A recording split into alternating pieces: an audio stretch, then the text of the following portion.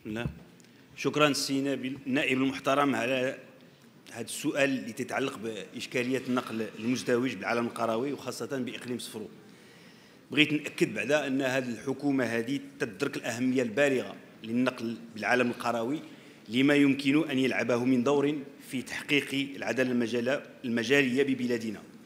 كيف تعرفوا اعتمدت الوزارة منذ 1986 واحد العدد ديال المبادرات باش تطور النقل بالعالم القروي. من أهمها اولا خلق النقل المزدوج وتكليف اللجنة الإقليمية بتقديم الاقتراحات للجنة المركزية.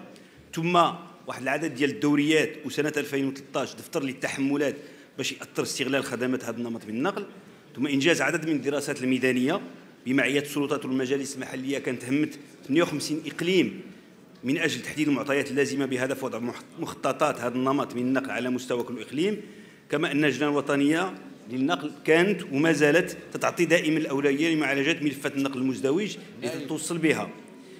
كان أيضا ممكن استفادة النقل القروي من برنامج جديد الحظيرة حيث كان يمكن له يحصل مبلغ الدعم إلى 180 ألف درهم في حالة اقتناء المركبة الجديدة.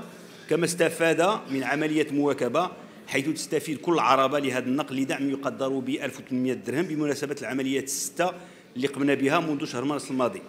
رغم ذلك وكما تعلمون وكما هو الحال في إقليم صفرو الذي يستغل به يستغل به 47 رخصة فقط من أصل 109 ما زال سكان القرى تعانوا من ضعف الخدمات ديال النقل.